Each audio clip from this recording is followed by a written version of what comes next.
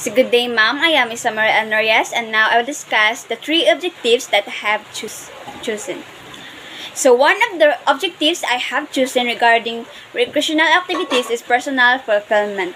When you enjoy what you are doing, especially when it comes to applying recreational activities to yourself, it gives you fun and here you can realize that you have fulfilled what you want to do.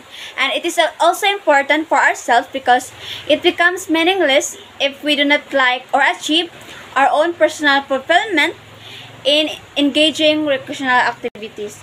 And then personal fulfillment is that feeling of serenity, contentment, and satisfaction you have in yourself.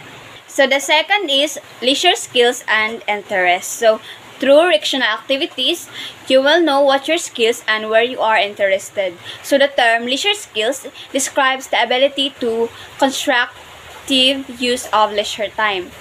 Then, engaging yourself in some kind of recreational activity that excites you is the best way to bring down unwanted worries, tensions, and stress.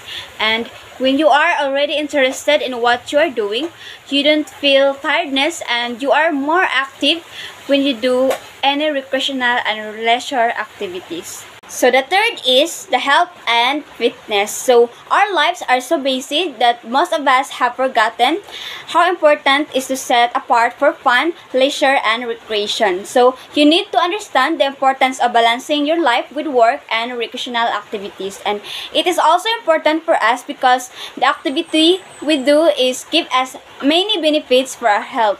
And this is also our priority that needs attention because our health is our daily investment. So, in addition, all work and no play will surely make you dull, boring, and unproductive. So, even if we have set apart a time for leisure in our day-to-day lives, most of the time is gets pushed to a day of from work. So, you need to maintain a perfect balance between work, recreational activities, and rest to be physically and mentally fit and to be fruitful and successful in life. That's all.